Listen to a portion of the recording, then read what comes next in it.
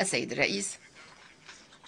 فيما يتعلق بالتنمية الاقتصادية الاجتماعية التي تعمل عليها حكومة المغرب في الصحراء وتنظيم الانتخابات التشريعية والأقاليمية والمحلية على كامل أراضيها الوطنية بما في ذلك في الصحراء المغربية تؤيد بلادي مبادرة الحكم الذاتي المغربية التي تؤكد على مصداقيتها قرارات مجلس الأمن والتي اعترف بها اعترف بها عدد كبير من الدول الأعضاء في المنظمة.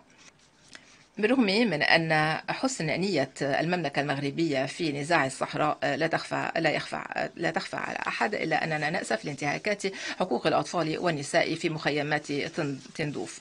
هذه الأفعال مخالفة لمثل الأمم المتحدة وهي تغذي الإرهاب وتقوض جهود السلام التي يبذلها المغرب.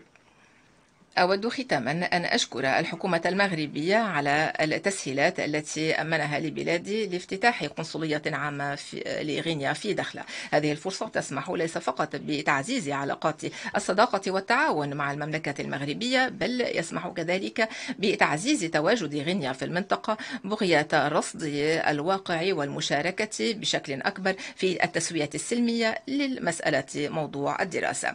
ستستمر بلادي في المساهمة بالجهود التي تبذلها الأسرة الدولية بغية التوصل إلى حل يفيد كل الأطراف. وشكرا.